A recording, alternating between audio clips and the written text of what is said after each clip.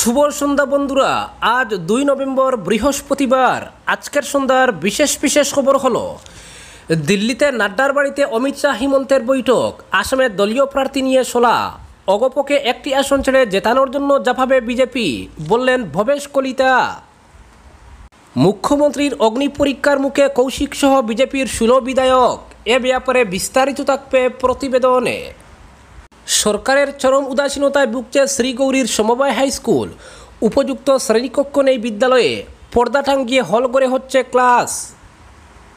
Alpha সমস্যার স্থায়ী সমাধানের দায়িত্ব মুখ্যমন্ত্রীকে নেওয়ার আহ্বান ভূপেন বোরার।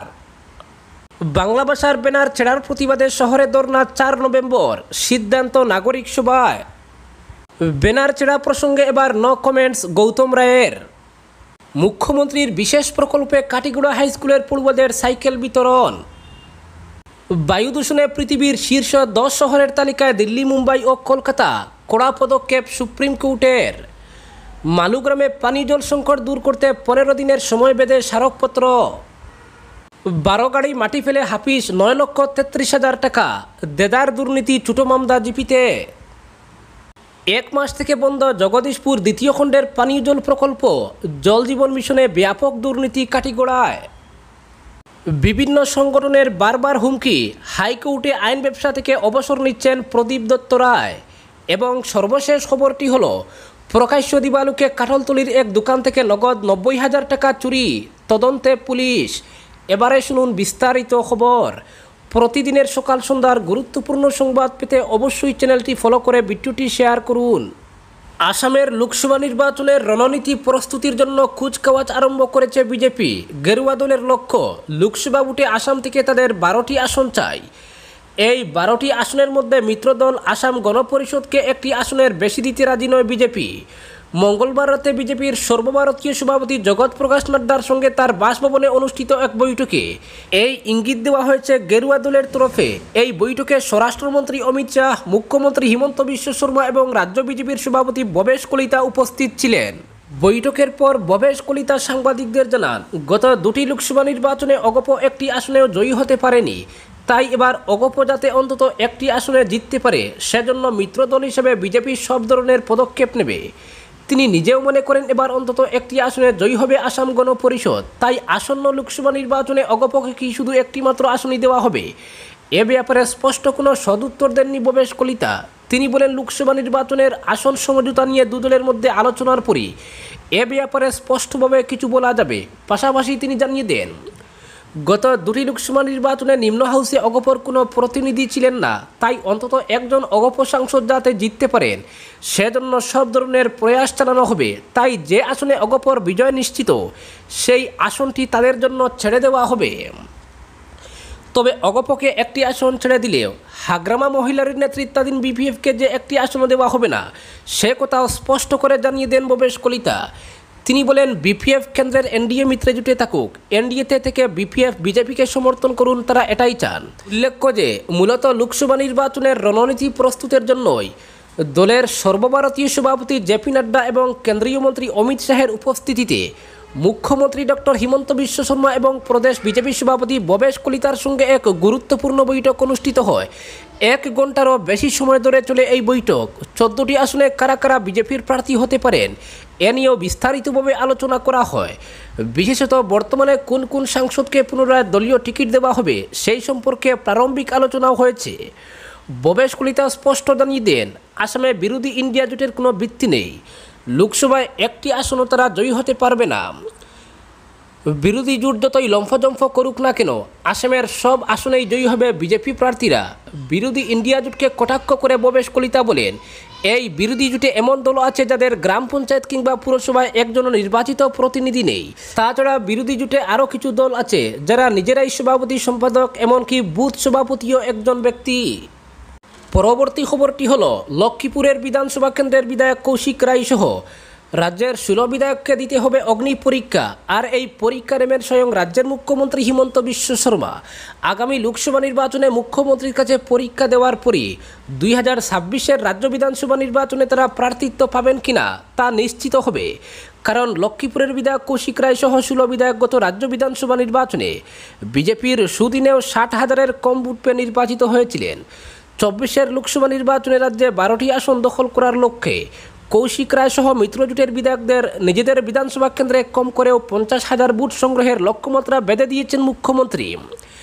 আর এই লক্ষ্যমাত্রা বেঁধে দেওয়ার কারণ হলো, কেন্দ্রে তাদের জনমত যাচাই করা।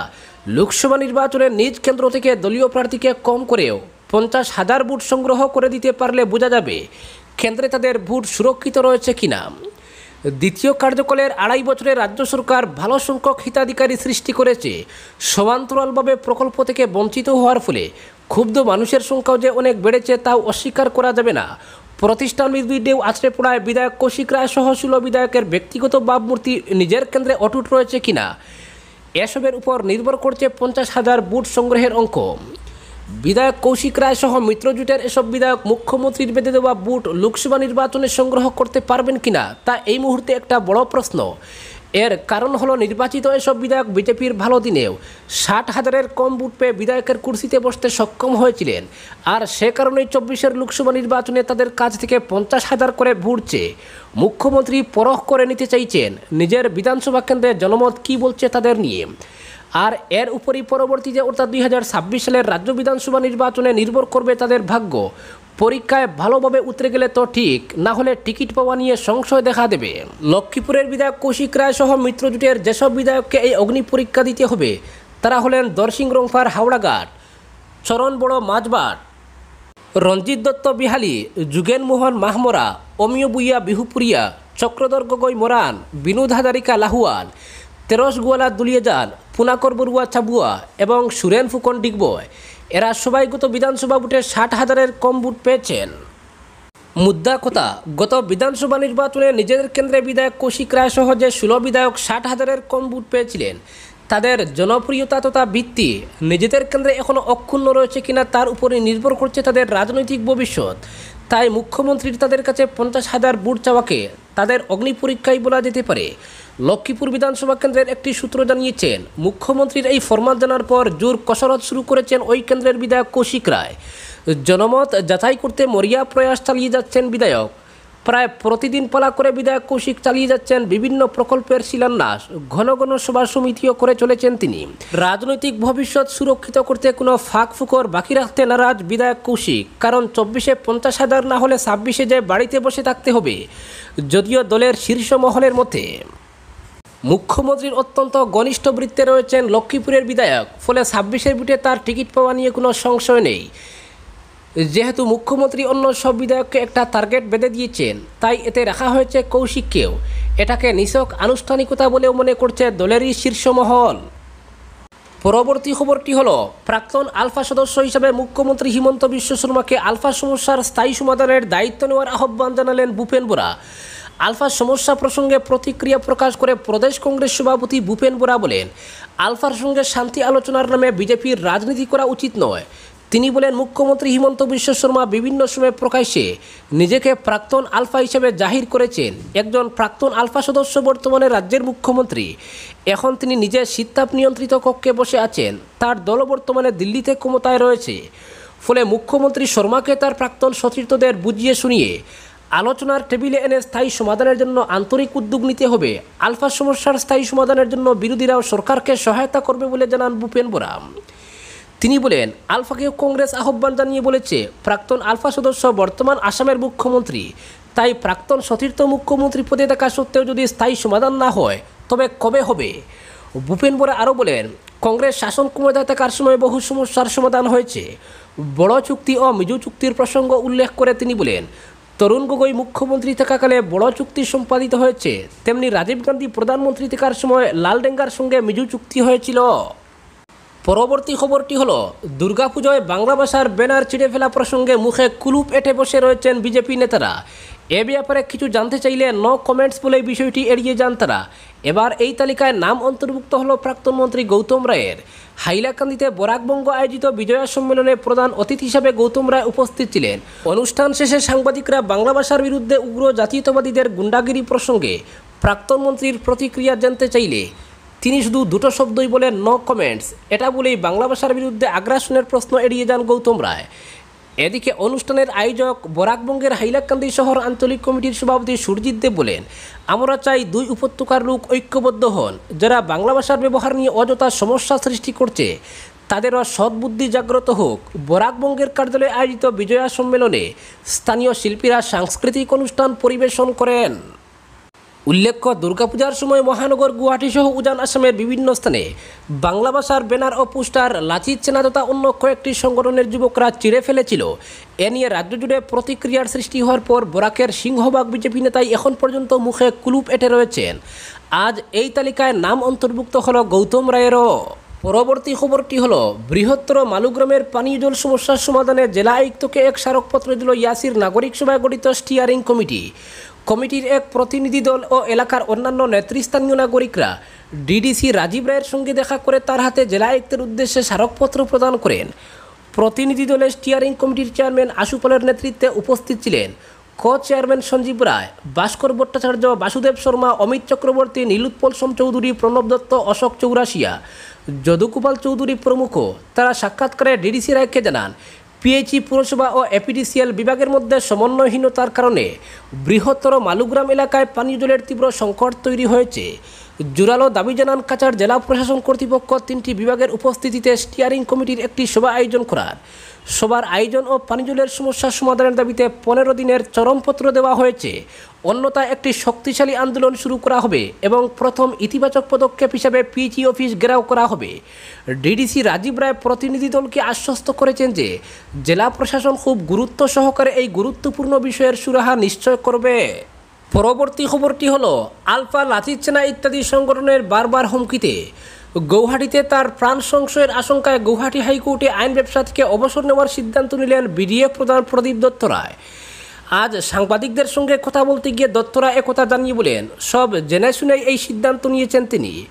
তিনি বলেন, গৌহাটি হাইকোর্টে আইন ব্যবসা তাকে অর্থ, সম্মান সব কিছু দিয়েছে।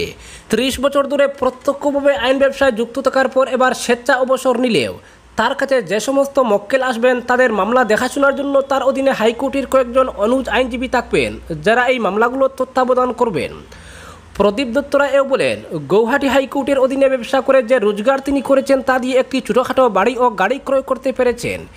একমাত্র কন্যাকে সিম্বয়াসিস ইনস্টিটিউট থেকে আইন পড়িয়েছেন এবং সে ইতিমধ্যে তার শিলচরের ব্যবসা দেখাশোনা করছে। এ সমস্ত হাইকোর্টের জন্যই সম্ভব হয়েছে।